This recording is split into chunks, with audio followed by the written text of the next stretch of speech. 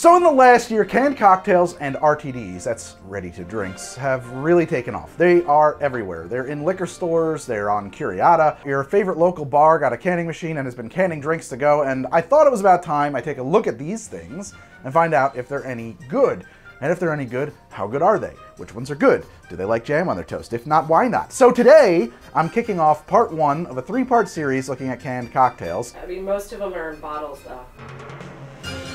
Specifically, we're going to look at the canned old fashions. So my expectations are, um, well, my expectations are very low.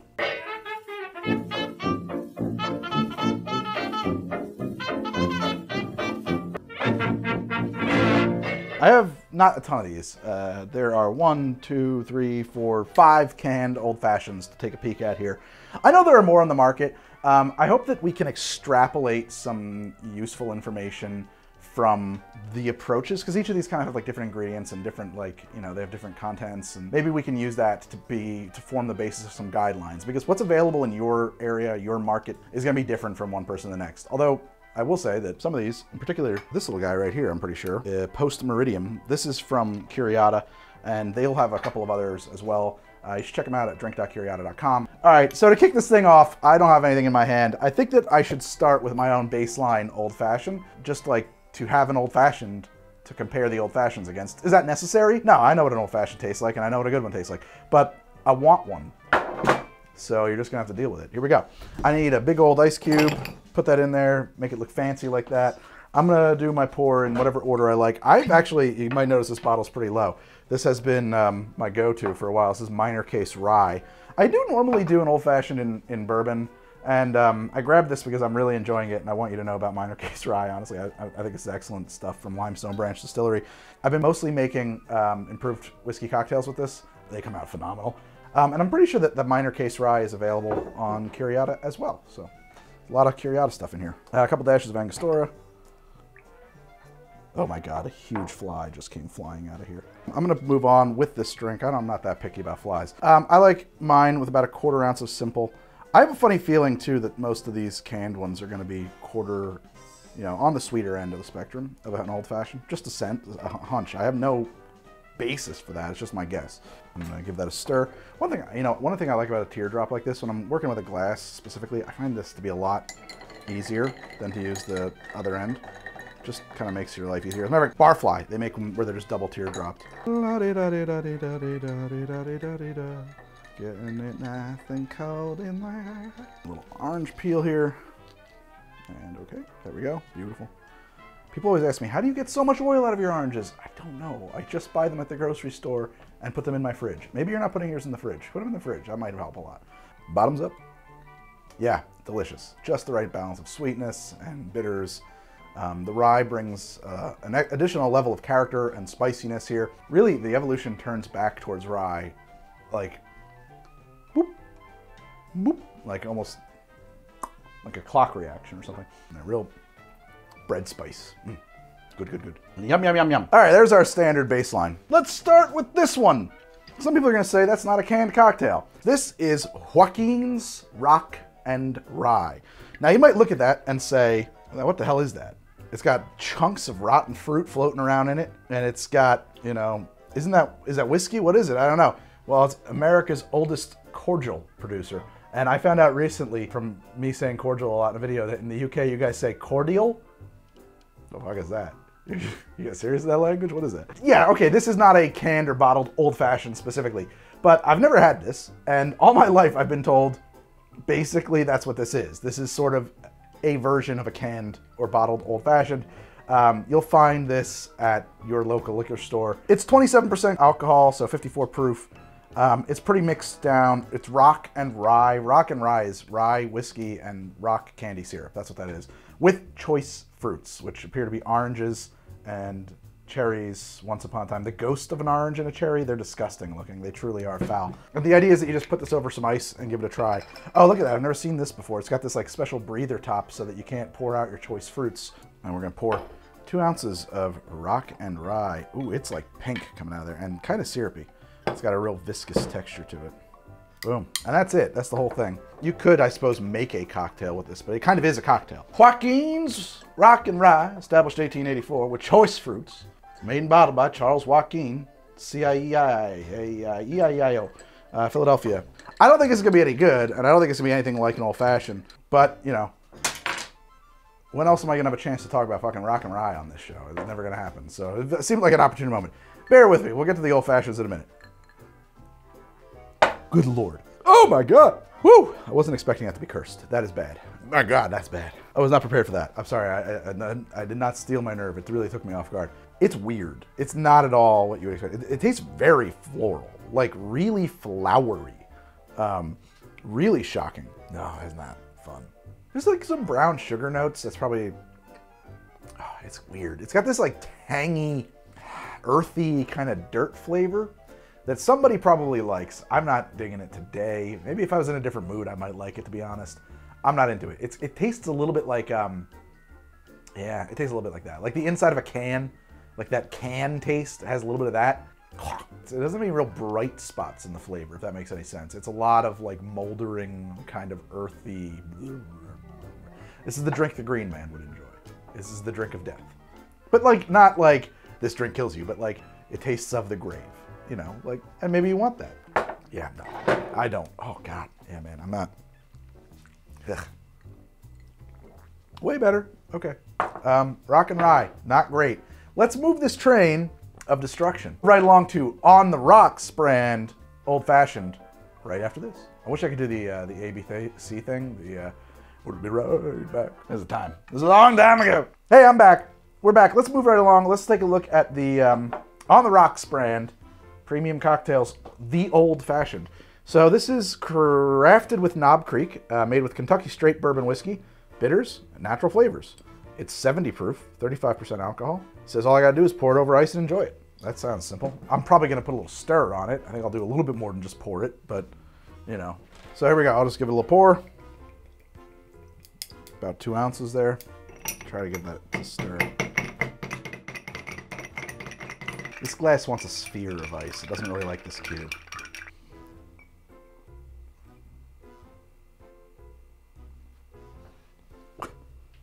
I'm not gonna lie, that tastes terrible. That's awful.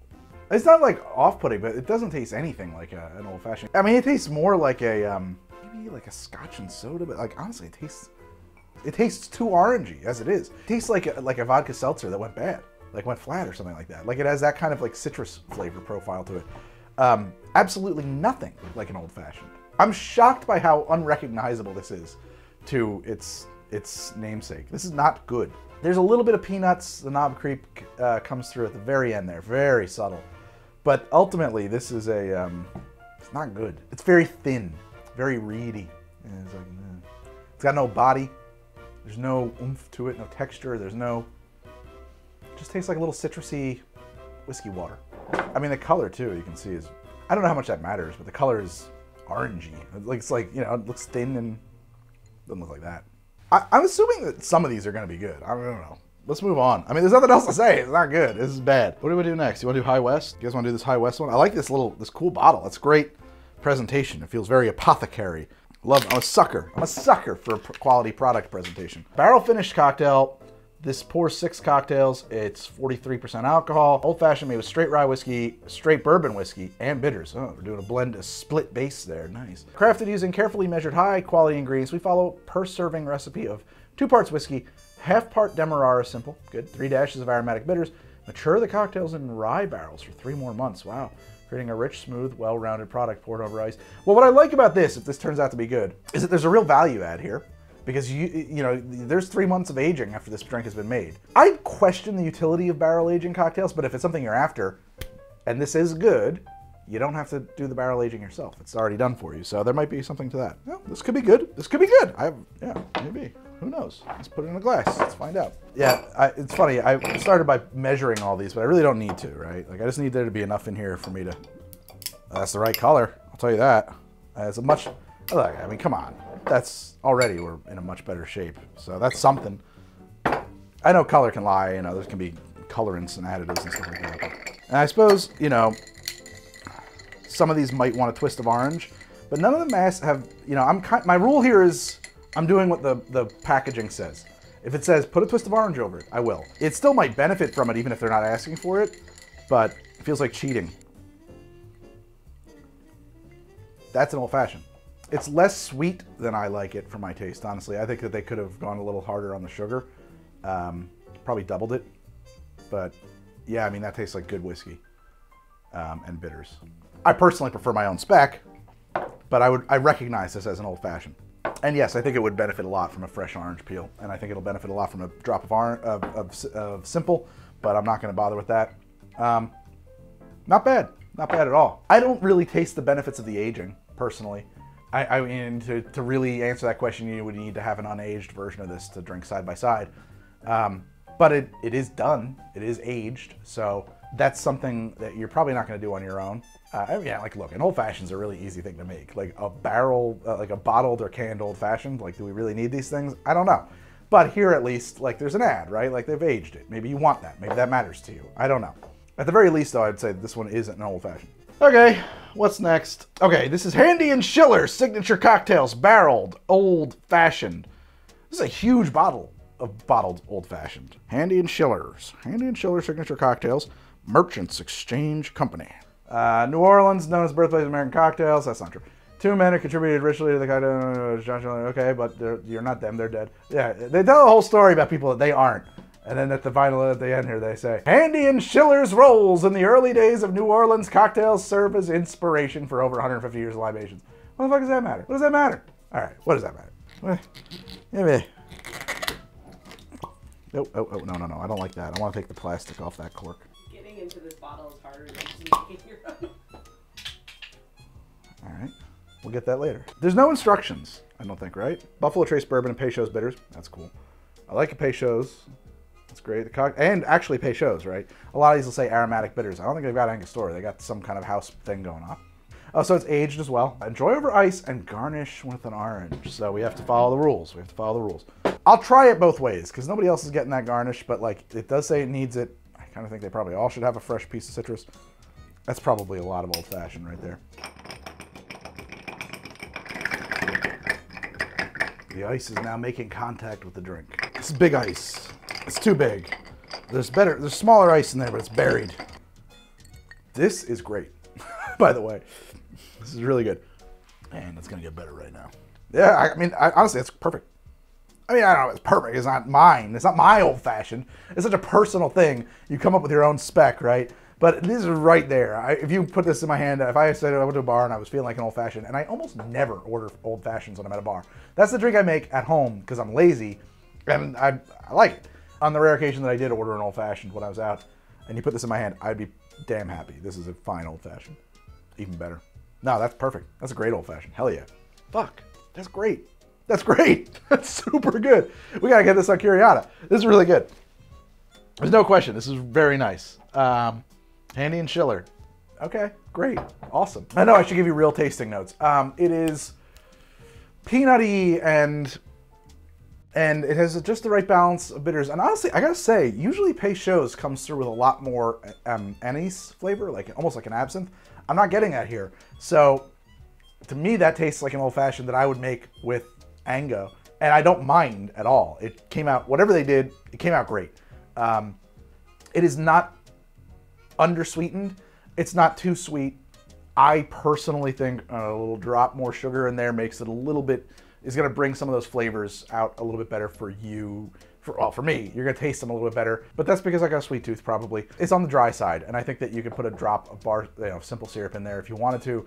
Uh, or if you're like some kind of a purist who, for some reason, is using a bottled old fashioned. But bottled old fashions have been around since like the 1800s, so I don't see why that is impure. I guess you could put a, a, a, a, sugar cube in there if you wanted to go that route. But yeah, hell yeah, that's fine drink. That's fine drink. All right, let's do um, this one. It comes in a hip flask, which you know is a mark of quality. Oh, this is Hublin. Hublin. I can't pronounce it. Hublin. Heubelin. Heubelin. Um, so Heubelin is a company that's been around for a long time. Um, they used to make canned cocktails back in like the 60s, 50s, 70s. Pretty famous for that, actually. Matter of fact, um, there's an episode I haven't done yet that I've been thinking about doing about Brass Monkey, uh, that funky monkey chunky brunky. Brass Monkey was actually a cocktail, a canned cocktail that Hublin made back in the day. Um, and then the Beastie Boys did a song about it. Uh, that funky monkey, brass monkey. Expertly crafted cocktail since 1892. Oh, they've been around longer than I thought. Look at that, Hubelin. Crafted with bourbon by 1792. I'm gonna show my ignorance here. 1792. That's a brand. Isn't that isn't Jefferson's whiskey 1792? Is, or is that like a collab or something I do? I don't know. I'm not super well versed. Bourbon whiskey bitters and artificial colors says it right there. Nice to know.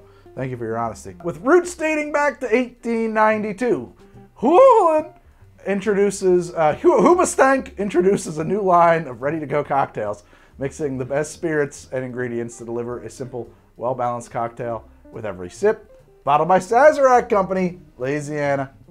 Uh, I'm sorry, not Louisiana. Louisiana, Kentucky. Louisville, Kentucky. Let's put this sucker on ice. I mean, although, again, it's in a hip flask. It's designed not to be put on ice. In fact, there's no instructions on here at all. I think you're meant to drink it from the bottle. We're not going to do that, though. We're going to give it the benefit of the doubt. Here we go. Hubelin Old Fashioned 1792. No instructions, we're guessing. Not good. Very flat flavor, oversweetened. Honestly, this really just kind of tastes like cheap whiskey with sugar added.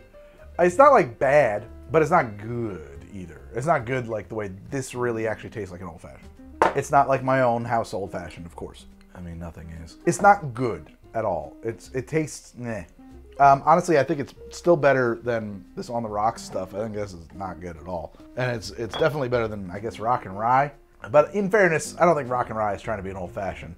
Rock and rye is rock and rye, and I've learned today that I don't like rock and rye. So there it is, Hubelin's uh, old fashioned. Not the one I would buy if I was buying a pre-packaged old fashioned. Moving along. So the final one, full disclosure. Curiada sent me this because I said, hey, we're doing an episode on canned old fashions. What do you guys have? And they sent us these to try. Um, but in truth, it does sound good. So um, one of my favorite local restaurants is canning their cocktails. They can them in pretty big cocktails, and it says, you know, it's got four in here. Well, I mean, you open that can, you can't put it back in the fridge or something like that.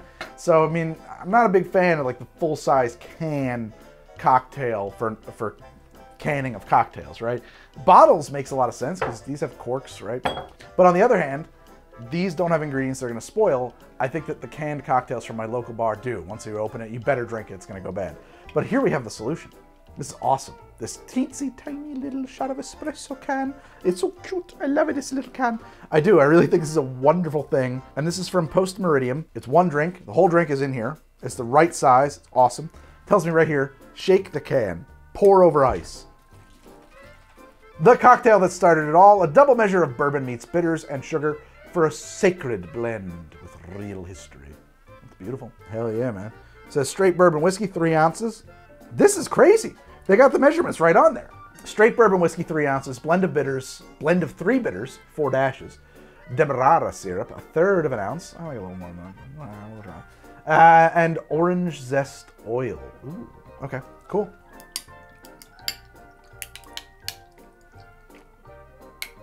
That is, that is very double. I mean, that is double. Excuse me, sir. Uh, here we are, Post Meridiem's double old fashioned. That is tasty. Very complicated, very tasty. I like this drink. I don't know if it's a old fashioned. I don't know if it tastes really like an old fashioned or my expectations of an old fashioned. But then again, I don't know what else to call it either. I think it is an old fashioned. It's just a bit different than I would expect it to be. It's good. It's very tasty. There's a lot of evolution in here, a lot of complexity. Complexity here, by the way, that is not in any of the other canned ones, or I mean, honestly, even my own personal old fashioned isn't that complicated. And I think that's part of it. Like, I don't expect an old fashioned to have a lot of complexity and evolution. That's more the domain of an improved whiskey cocktail or Sazerac or something like that. That has a lot more stuff going on in there with, you know, some absinthe, some maraschino. This has a lot of stuff going on. This is a complicated old fashioned. It has a kind of citrus opener that gives way to like peanuts and sweetness and caramel. And then the citrus kind of comes back with but like a different kind of citrus, like a sweeter citrus. And at no point is this overly sweetened. Yeah, it's very orangey. And then like there's some notes of clove. I think that's what that is. Clove and like allspice, certain like bittersy. Yeah, right now really definitely clovey vanilla allspice. Clove, vanilla, allspice shows up with the orange. It has a real Christmassy vibe. That's probably coming from the bitters. And what they are, we don't know. It's a blend of three bitters, and it, it, it leaves on this very pleasant clove and ginger-ish kind of notes. It kind of reminds me of, I don't know if you've ever been, this is such like a bougie thing to say, Le Pain Quotidien. Le Pain Quotidien, it's like a chain of like, um, like restaurants that you'll find in the city, Le Pain Quotidien. And they have, in the fall, they would do uh, a, a kind of a hot cider um, that they would season with lemon and um, uh, star anise, and I, I loved that. It was like one of my guilty pleasures. But this has a finish that reminds me, just the finish reminds me of that a little bit. I enjoy that thoroughly. I think that's really, really good. I'm just not entirely sure it's in any way comparable to like an actual old fashioned that you would make yourself. But I don't think you'd be disappointed with it either. So what did we learn? What can I say from these drinks that we can we can we can relate to choices? I would say that if your canned old fashioned is calling out the bitters they're using or calling attention to the bitters they're using, probably a good sign. If they say natural flavors, that's probably not a good sign. Natural flavors, there is nothing natural about natural flavors. Natural flavors is an industry term that means, I don't even know what it means. It means gobbledygook, but it doesn't mean flavors from a thing that they found in nature. I know that. It means stuff that they make in a laboratory that are designed to supposedly emulate the chemical compounds that are found in nature, but they're not natural. And I think that when you see natural flavors on anything, like that is a catch-all term for surprises. Um, so I would say, in this one, right, this was natural flavors, not good. Um, this guy, uh, yeah. Oh, so here's my rules. If it says natural flavors, maybe not good. If it says artificial colors, probably not a good sign. Those are not good signs. If it's barrel aged, at least there's something there. It might not be, you might not buy it again, but at least you're getting something for your money because an old fashioned is so fucking easy to make. You don't need to buy a canned or bottled old fashioned. You should buy one from Curiada because it helps me, but you don't need to. You just don't. I mean, I will say though that like some of these like, yeah, I'm lazy. Like that's appealing. If I'm making an old fashioned, I'm already in a lazy kind of way. Reducing it to one pour from three, four, or five, depending on how complicated I want to make things, is great. Is great. I like to be lazy. But the drink itself is not going to compare to the one you make your own. I just won't. I'm going to say calling out the whiskey that they use, not a, not a deal maker, right? Because almost everybody who can is going to call out the whiskey they use. That is not going to tell you this is a good one.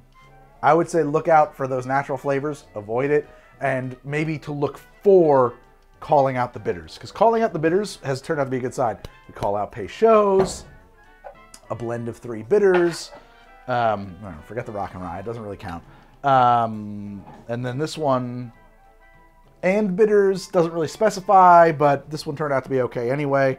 Um, and you know, it's funny too, it's like you might look at that and say, look at that Look at all of the artifice in the little piece of the little little seal that has to be broken and the little the pinking on the edges there make it old timey. You know, it feels the the apothecary stuff jar. If you see that much artifice, you might think probably not good. But in truth, this one is good. You can't you can't look at all that salesmanship and say they're overselling it, it's not good. Because here's one that they didn't oversell. And you know why they didn't oversell it? Because it's a shit product and they weren't going to put any money into selling it. I just like, these are just, just adorable. I just love this cute little can. It's just so cute. I want everything to come in these cute little cans. They're super cute. So today we did part one of a three-part series on canned cocktails, not hard seltzers, canned cocktails. And uh, today specifically we looked at canned old fashions. I, it's not possible for me to look at every canned old fashioned, but for now, today, this is what I got. I really liked Post Meridiem. I really liked the High West Old Fashioned. I really liked the um, Handy and Schiller. There it is, canned old fashioned. Stay tuned uh, for part two when I take a look at canned margaritas. See you guys next time on another episode of How to Drink. Do the stuff. Do the stuff, by the way. Like, subscribe. Do that stuff. Do that stuff.